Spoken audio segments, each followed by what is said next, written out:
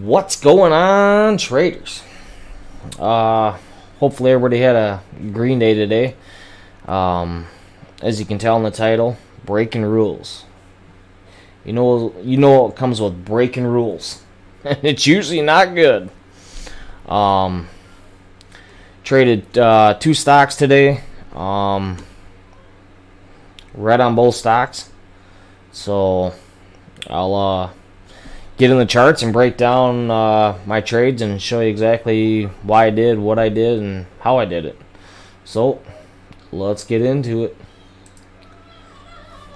So on this uh, PSTV um, pre-market, I seen there was like a triple top up here, like this 305 area. So I seen this huge pullback. This pin bar right here didn't even register. I had a pre-market order set already to short at 305. Well, this thing started squeezing, filled me instantly, and I caught the trade at 320. So it has a huge pullback, and then my buys flipped because the stock can run.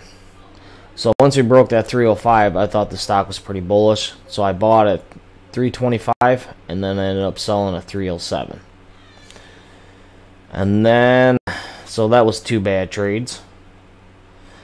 And it's gapping up. So that was um that was the only two trades I took on the stock and uh, the stock got crushed.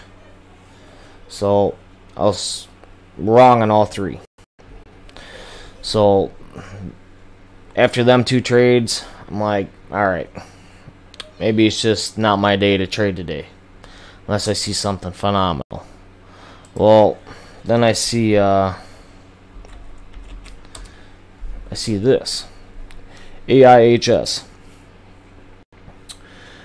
Pre-market, I seen this huge pullback, and then I figured the market makers are at least going to keep this above a dollar. So I'll just take a starter position here at 117. And I was up on the trade right here, about 50 bucks. And then market opens, squeezes.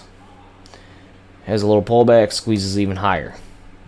And then when I seen uh, we couldn't make a higher high right here, I got short. And then comes crashing down. And then, uh, let's see here.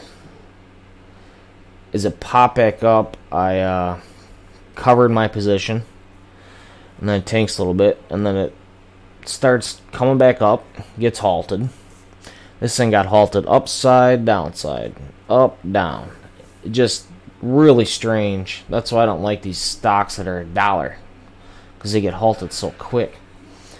Anyhow, I got short again. We come out of the halt comes to the uh, it breaks lower, which is strange. So I got short, and then it squeezes again. So I covered. So at this point, I'm just like really, really frustrated. I'm like, all right, you've already lost five trades. I mean, right here I could have took the profit. Right here I could have took the profit, and I would have probably been break even on the day. But I didn't. And right here I take another stab at it.